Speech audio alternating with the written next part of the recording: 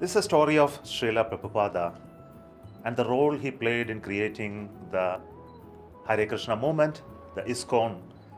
And this is the first time I came across this story of uh, Prabhupada India to US 60s, very troubled times. A person having gone through his life in uh, a, a semi ascetic mode, uh, being a family man, turning towards the love for Krishna, and finding that as his path to spread the message of Lord Krishna in, in the US. He traveled there and created history later, creating so many temples and the movement which all of us know. Conveys the message that a person with great conviction and belief can really overcome all the limitations of his physical form and collect so many souls and minds together to make a great movement. And all of us can, and this is a message for all of us who would like to make that change, watch which they think they should. Thank you so much.